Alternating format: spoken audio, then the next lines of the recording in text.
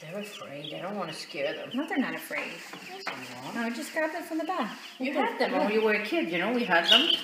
No, no, no, don't scare What's them. wrong with you? Just grab one. Yeah.